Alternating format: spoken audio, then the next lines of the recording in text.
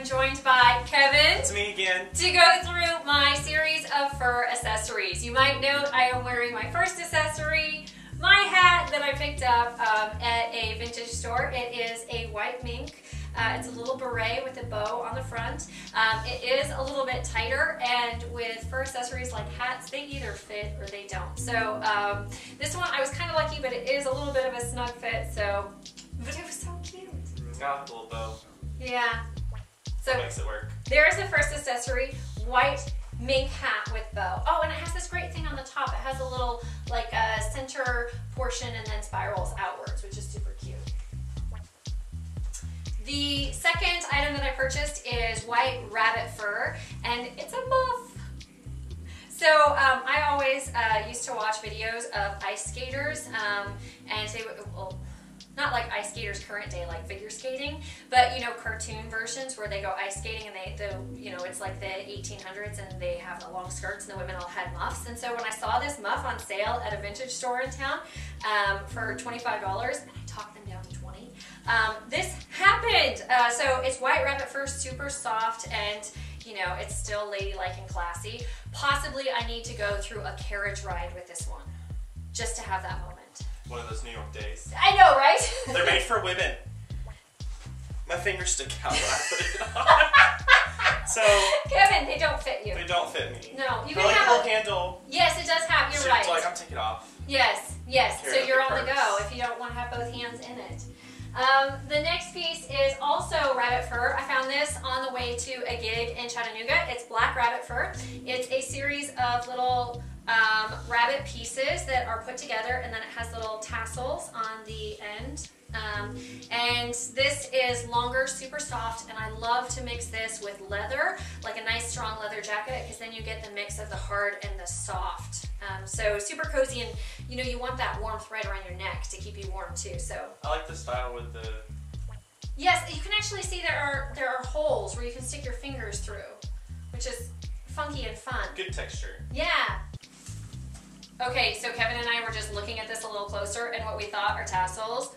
These are rabbit's feet. It's a lucky scar. I don't know. Did, when you were little, did you ever have like the little uh, keychain rabbit foot that was like you could have it and yeah, and it was supposed to bring good luck. So this one has four rabbit's feet, not tassels, that are good luck.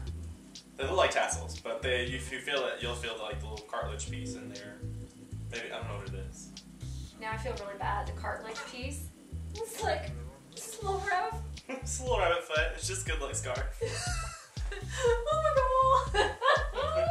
uh, the next piece is mink again. It is a mink scarf. Um, I usually pair this with a brown longer trench coat leather jacket. If you go to my webpage, um, www.erynoft.com, um, you can actually see me wearing the leather coat that I pair this with on a regular basis.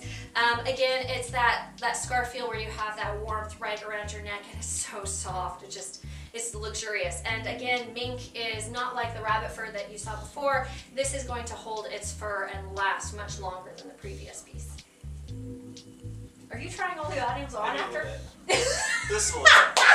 They're really soft. Kevin, you're hilarious. I didn't know you was trying them on. They're just a little soft. Um, the next piece is a hat. Um, I kind of fell in love with these hats because uh, they make me feel a little bit like, okay, this is ridiculous, but a little bit like Kate Middleton. She wears these hats with um, a wool pea coat. Um, so I kind of tried to pretend that I was Kate Middleton by buying these hats, but they are super soft, warm, and they, they make such a fashion statement. And I like my bold statements. You do. You got the jewelry on and the. Yes, before we started filming, uh, Kevin told me I could move my necklace out, hang it from each shoulder, and that I would look like a Tudor. Because we're both fan of the Tudor, uh, the show from Showtime. Um, and I, I had to admit he was completely right. I would have never It thought just needs the that. bigger chain on there. It'd be perfect for the Tudor. Shot in your backyard.